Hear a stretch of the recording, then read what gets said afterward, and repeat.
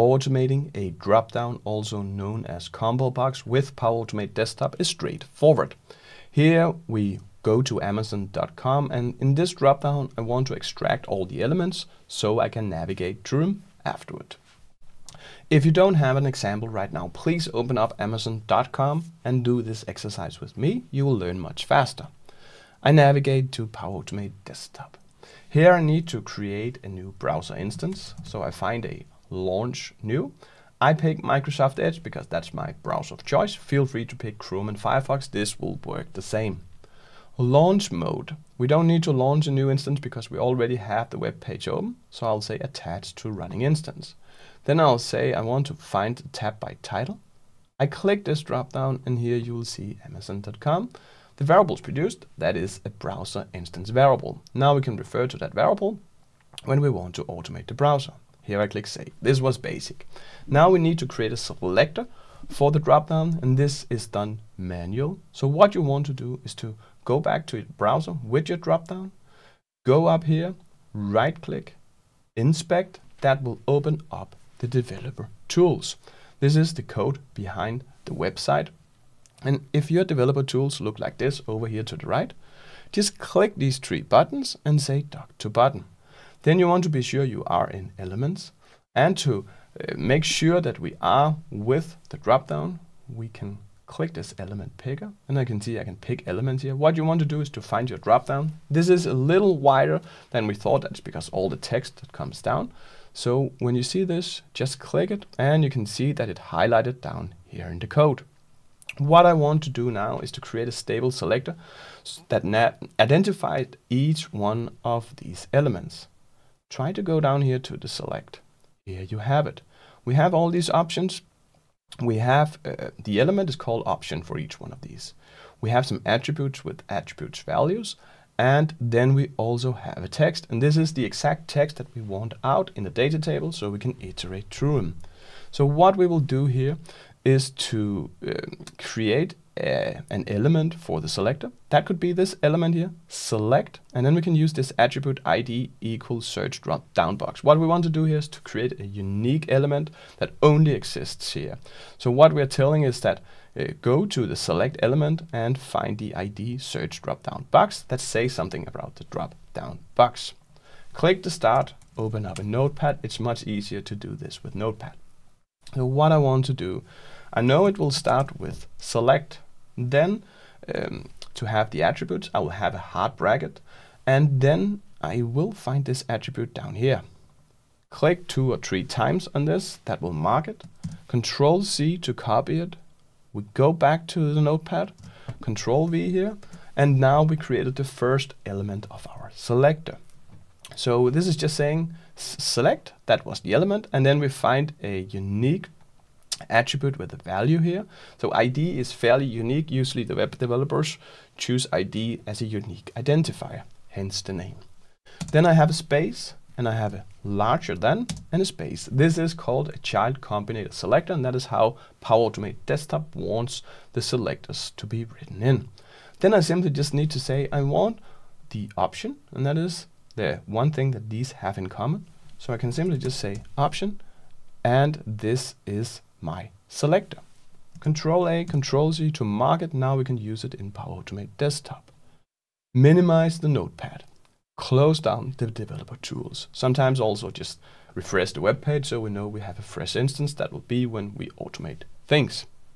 Now we are from a blank uh, start and here I want to find and extract data from web page. I simply just uh, click here and here we can see we work in browser. And if I want this to work, I need to open up the browser. Sometimes it doesn't show up, this live web helper, just move your browser a little bit around like this, and then you will see the live web helper. What I want to do here, I don't want to do anything on this website. I want to go to advanced settings.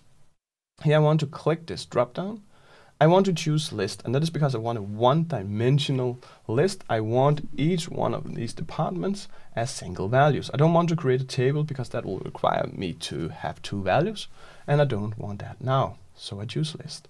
Our base selector, we just created that, so simply just say Control V to paste it in. Then we need an attribute, and that attribute uh, is text. We want to say to Power Automate Desktop, we want to grab the text inside these elements. So here I just say own text. Now I'm done. I can click OK, and here you will see all the elements of the dropdown is um, typed out. That was exactly what we wanted. Click Finish, click Save, and let's try to run it. We're still not uh, true yet, but we just want to see that this works. This will take very uh, short. If I go back here, what you want to see is over here to the right in flow variables. If this doesn't show up, it will look like this. Simply just click the X in the corner. It will say 28 rows and 1 columns. I can open it, and here you can see we have a data table called data from web page, and here we have all the results.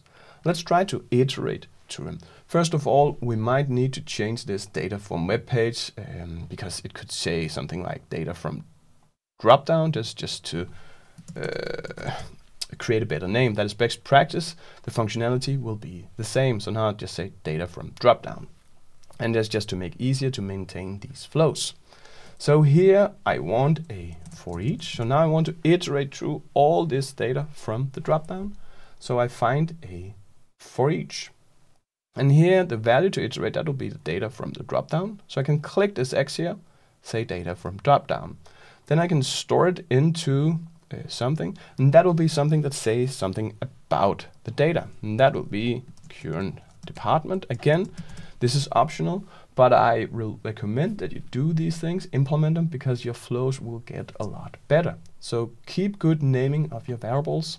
And if you want more best practices, please click this video up in the right corner. That is a two-hour guide taking you to all the best practices in Power Automate Desktop. So here I click Save.